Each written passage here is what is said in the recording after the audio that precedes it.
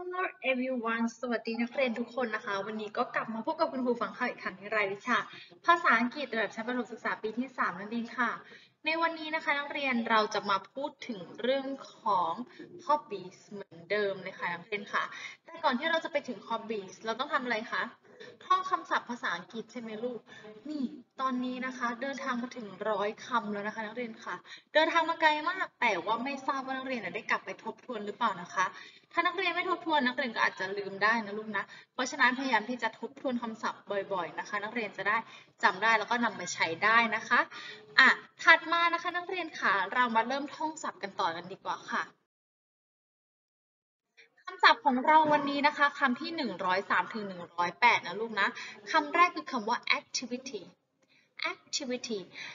a c t i v i t r e s activities แปลว่ากิจกรรมนั่นเองค่ะ ถัดมาค่ะคือคำว่า market market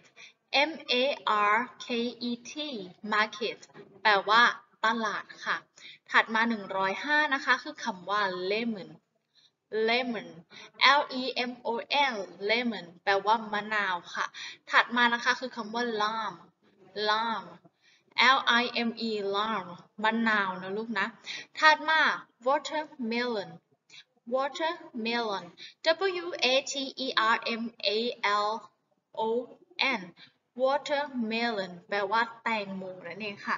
และคำที่ 108 นะคะคำสุดท้ายของเรานะคะ คือคำว่า coconut coconut C O C O N U T coconut แปลว่ามะพร้าวนั่นเองค่ะ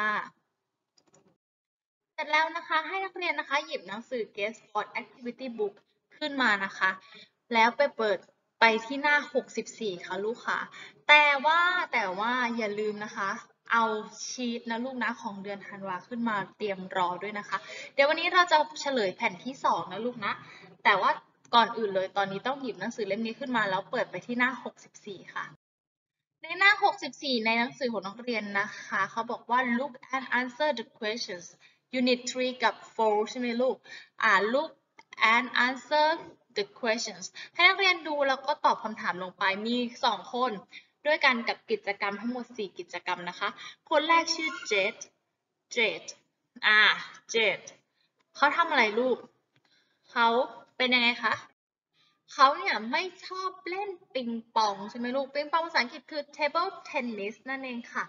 ถัดมาเขาชอบเล่นกีตาร์แล้วเขาก็ชอบอ่านหนังสือใช่ไหมลูก และชอบฟังเพลงนะคะ ถัดมาข้อที่สองคือเบนค่ะ เบนเนี่ยชอบเล่น table tennis ชอบไม่แต่ว่าไม่ชอบเล่นกีตาร์ไม่ชอบอ่านหนังสือ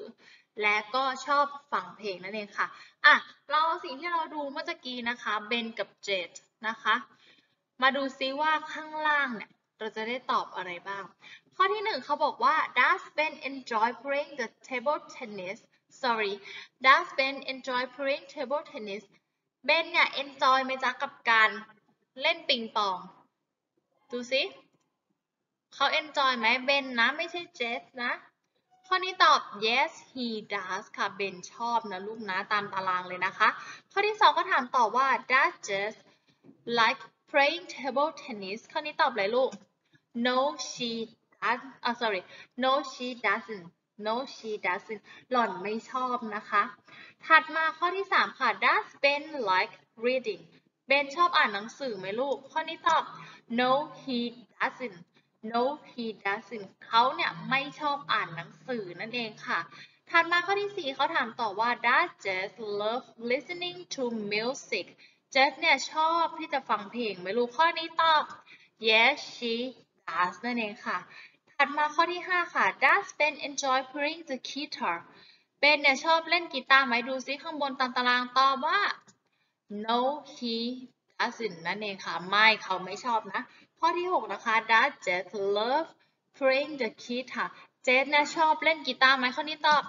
yes she does นั่นเองค่ะหล่อนเนี่ยชอบเล่นกีตาร์นะคะ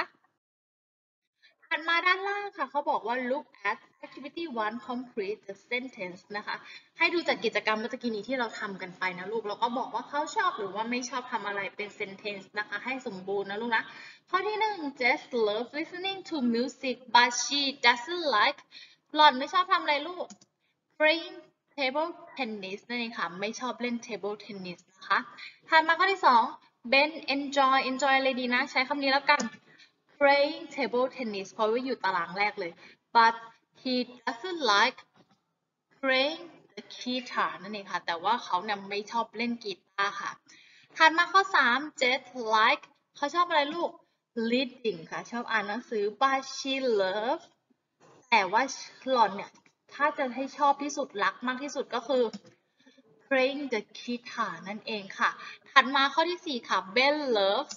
listen to music อ่าอ๋อ sorry listening to music ชอบฟังเพลงนะคะ แต่ว่าอะไรลูก but he doesn't like playing the guitar and reading ไม่ชอบเล่นกีตาร์แล้วก็ไม่ชอบอ่านหนังสือนั่นเองค่ะ อ่า เรียบร้อยแล้วนะคะ ถัดมาข้อที่ 3 ค่ะ about me answer the questions ให้นักเรียนตอบเป็น yes no question นะลูกนะ เพราะว่าเขาใช้ do เห็นไหมกิริยาช่วยแบบนี้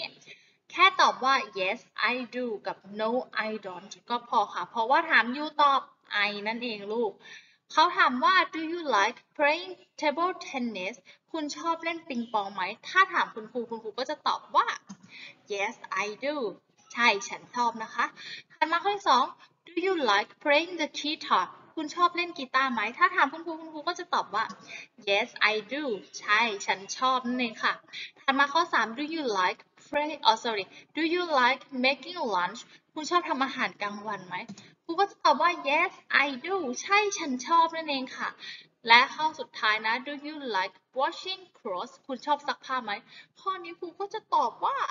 no I don't ไม่ฉันไม่ชอบนั่นเองค่ะ โอเคค่ะ แล้วนักเรียนล่ะคะ ตอบอะไรกันบ้างเขียนให้ครบทุกข้อนะคะ ถ้าชอบก็ yes I do แต่ถ้าไม่ชอบก็ no I don't นั่นเองค่ะ ถัดมานะคะนักเรียนค่ะข้อที่ 4 ค่ะในหน้า 65 นะลูกนะเขาบอกว่า think ให้นักเรียนคิดนะคะ ดูตามรูปภาพที่เขาให้มานะลูกนะมีหมายเลขบอกอยู่นะคะเขาบอกว่า look and write the verb on the list นั่นเองค่ะ ให้เขียนคำกริยาลงไปใน list นั่นเองลูกค่ะอะกริยาอะไรที่ใช้ขึ้นต้นกับคำว่า do บ้างในพารากราฟนี้ดูสิมีอะไรลูกอันแรก do homework อันที่สองมีดูอะไรอีกไหนซูซิ do the dish ใช่ไหมล้างจาน แล้วก็อันที่สามคืออะไรคะ do karate นั่นเองค่ะ อ่า นี่เลย do homework do the dish do karate ค่ะ ถัดมาข้อที่สี่ถึงหกนะคะ ให้ใช้คำว่า make ไหนดูเลขสี่สิเขาทำ make อะไรลูก make a cake ใช่ไหม เลขห้าอะไรอยู่ฝั่งไหน อยู่ข้างดูคาราเต้เขาก็คือ make films นั่นเองค่ะ และข้อหกเขาทำอะไรลูก make อะไรคะ models นั่นเองค่ะ อ่า นี่เลย make cakes make a film make models นั่นเองค่ะ ถัดมาข้อที่ 7 ถึง 9 นะคะ เป็นคำว่า pray อ่า ดูซิมีคำว่า pray อะไรบ้าง ข้อที่ 7 คือ pray อะไรลูก เขาเขียนว่าอะไร pray the recorder นั่นเองค่ะ กำลังเป่าอยู่เลยใช่ไหม ข้อที่ 8 play table อ๋อ sorry play แบดมินตันนั่นเองค่ะกำลังเล่นแบดมินตันและข้อที่ 9 คือ play computer game นั่นเองค่ะกำลังเล่นเกมคอมพิวเตอร์ค่ะถัดมาด้านล่างนะลูกนะเขาบอกว่า look at activity 4 write the sentence นั่ค่ะ ดูข้อที่ 4 เมื่อกี้นี้แล้วก็ลงมาตอบข้างล่างใช่ไหมลูกเขาบอกว่า I จุดจุด in the afternoon คือเขาทำอะไรลูก play on the computer ค่ะ เราเอาคำศัพท์คำนี้มาใช้ดีกว่า play on the computer in the afternoon เขาเล่นคอมพิวเตอร์ในช่วงบ่ายค่ะ ข้อที่ 2 I ทำอะไรใน Sunday ไอ Saturday วันเสาร์ดีนะ ดูคาราเต้แล้วกัน I do karate on Saturday ฉันเล่นคาราเต้ในวันเสาร์ค่ะ ข้อที่ 3 นะคะ I like เอาคำศัพท์อะไรมาดีนะ making cakes แล้วกันค่ะ ฉันชอบที่จะทำขนมเค้ก but I don't like doing the dish ฉันไม่ชอบล้างจานค่ะ ข้อที่ 4 นะคะ I enjoy making models นี่ค่ะ ชอบต่อจิ๊กซอว์ชอบต่อโมเดลนะ but I love making films แต่ว่าฉันน่ะชอบถ่ายภาพยนตร์มากกว่านั่นเองค่ะ โอเค เรียบร้อยแล้วให้นักเรียนหยิบชีตนี้ขึ้นมาเลยนะคะ ของเดือนธันวาเราทำอันที่หนึ่งไปแล้วที่เราตอบคำถามใช่ไหมลูก ครั้งนี้เราจะมาทำเรื่อง verb ค่ะ verb to be is am are นั่นเอง เติมลงในช่องว่างให้ถูกต้องค่ะ อย่างข้อที่หนึ่งเนี่ยทีนาจุดจุด playing the piano ใช้คำว่าอะไรลูก is am are ใช้คำว่า is ใช่ไหมเพราะว่าอะไร is ใช้กับเอกกับพจน์นั่นเองค่ะ ข้อที่สอง we จุดจุด making ใช้คำว่า we เป็นพหูพจน์ต้องใช้ we are ค่ะ we are cooking ข้อที่สาม I นะคะ wearing my fruit ใช้คำว่าอะไรลูก I am ค่ะ I ใช้กับ am ใช้กับ I เท่านั้น ข้อที่สี่ก็ I เหมือนกันก็เป็น I am working on the computer ข้อที่ห้า it it ใช้กับอะไร it is a cake นั่นเองค่ะ ข้อที่หก Tim building a snowman Tim is building a snowman ข้อที่เจ็ดค่ะ they จุด friends they ต้องใช้กับอะไรลูก they are friends ข้อที่เก้า Anna and John building the sand castle อะ Anna and Joe แปลว่ามีกันทั้งหมดสองคนก็เป็น are ค่ะ ข้อที่เก้า it จุดๆ my friend it is ค่ะ my friend ข้อที่สิบ he จุดๆ swimming he is swimming ข้อที่สิบเอ็ด the apple apple ไม่มี s เพราะฉะนั้นเป็น is ค่ะ the apple is red ข้อที่สิบสองนะคะ John and I มีสองคนเป็น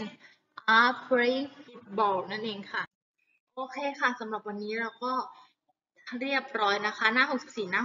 65 นะคะ แล้วก็ชีตในเดือนธันวาคมเรียบร้อยแล้วนะลูกนะ อย่าลืมกลับไปทบทวนคำศัพท์นะคะสำหรับวันนี้คุณครูก็ต้อง thank you for attention ขอบคุณที่ตั้งใจเรียนเป็นอย่างดีนะคะ เราพบกันใหม่ในครั้งถัดไปค่ะสำหรับวันนี้สวัสดีค่ะ บ๊ายบาย